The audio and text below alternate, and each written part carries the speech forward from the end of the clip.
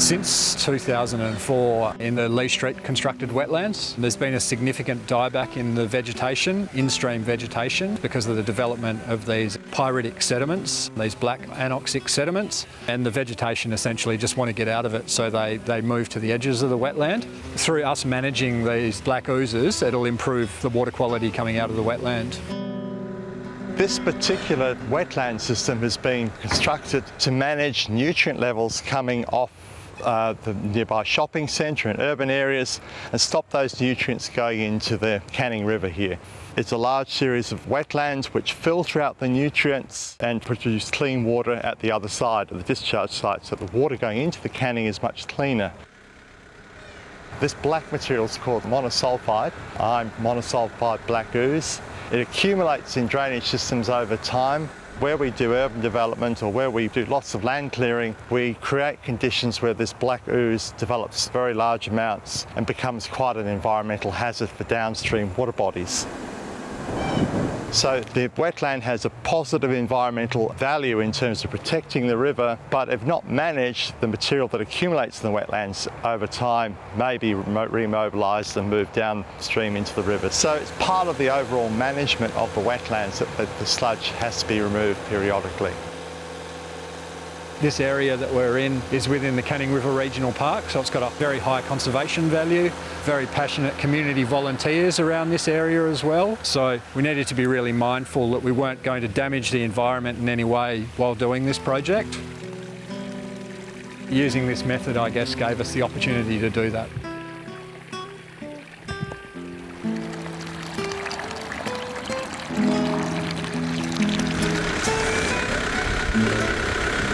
You can currently see we've got some pretty black oozy sediment. It's just a slow pass to suck it in. We're in about 400 mil of water with about 300 depth of sediment. It's very, very heavy. We need to cut through it to remove it.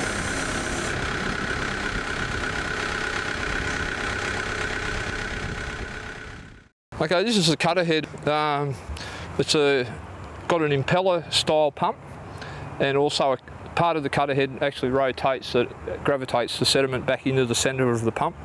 That keeps the bottom blade of the cutter head off the clay liner of the pond so that we don't damage the clay liner. It runs on a travel wire system, so we run what we call a banjo wire across the pond at each end and then feed a travel wire through the dredge similar to a uh, punt style very minimal footprint on the environment, which is good. Allows us to do jobs like this. We've had this set up and running with a wren sitting on a nest next to us on about six eggs. Nice and easy to launch in and out and no damage to the environment, so we're good on that front.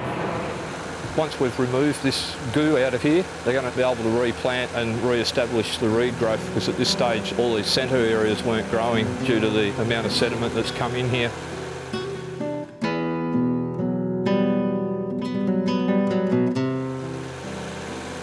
Once we've sucked the sediment through the machine, it goes through a set of floating pipes that follow the dredge and then goes onto a land-based six-inch pipe back to the dewatering area where we inject a separating agent and then it goes into the dewatering bag, traps the sediment and you end up with a nice clear, clean filtrate coming back out.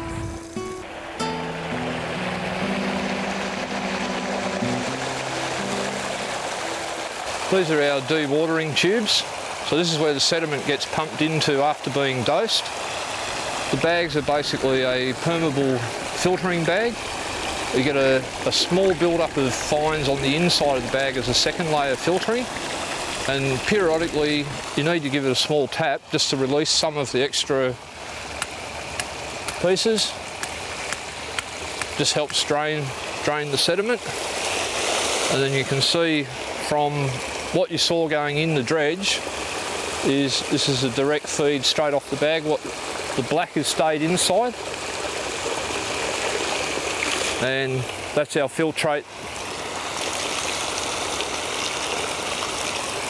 After they've dewatered themselves and the project's complete, the bags are then left to dry out and then they're sacrificial bags, so they're cut open and then you, the sediment inside is dried and basically can be loaded away, used as landfill, fertiliser or treated and then reused somewhere else. I mean, you can see the water quality coming out of it. It's quite clear. There's a very, very small amount of fines. This is what we're returning back to the wetlands after removing all the sediment. So you can see it's uh, a lot different than uh, the original that you saw going in the front of the dredge. We really wanted to make sure that we weren't going to damage the existing vegetation, so we've been really careful with locating of the pipes. And also in this area where we've got the desludging bags in this uh, bunded area here, this was a completely bare area to start off with, and it was good that we were able to fit this into this relatively confined area um, so that we could minimise the footprint and I guess the impact of the activity. It'll make for a lot healthier waterway and uh, more plant life and better filtration when eventually that runs back out to the Canning River so we get a better quality of water going out to the river too. So a win in all situations there.